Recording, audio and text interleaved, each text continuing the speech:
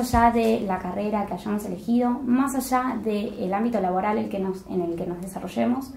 eh, podemos hacer relaciones públicas, retroalimentarnos, crecer, entender qué piensa cada público eh, que, va a estar en esa idea, en ese objetivo o en ese contenido audiovisual. Eh, esto fue un desafío para mí porque no vengo de, la rama audiovisual o como digo ahora no venía,